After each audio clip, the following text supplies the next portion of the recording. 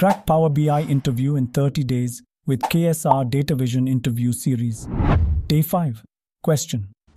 What are key practices for effective Power BI reports? Answer. Key practices include clear visualizations, logical data organization, and design consistency. Question. How does Power BI integrate with Azure and Office 365? Answer. Power BI seamlessly integrates with Azure and Office 365, leveraging existing tools and services. Question. Explain Power BI Embedded. Answer. Power BI Embedded lets developers integrate reports and dashboards into custom applications. Question. How does Power BI support self-service analytics? Answer. Power BI empowers users to create reports and dashboards without IT or data analyst help. Question. How can Power BI help monitor data quality? Answer. Power BI offers data profiling and monitoring tools to ensure data accuracy. If you want to book one week of free classes or